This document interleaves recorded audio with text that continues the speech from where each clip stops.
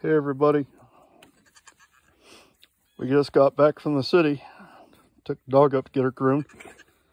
Pulled in the driveway, looked back here and noticed two little mini-me's. They look a lot like their mama. Both girls. It's a good day right there. They look like they're healthy. Not sure how long ago she had them. She didn't give any indication that she was going to going to labor today, so I guess the other three were going to be uh, probably not too far behind. They're cute little things. I picked one up to see if it was a boy or a girl, and she made all kinds of racket. She wasn't real happy.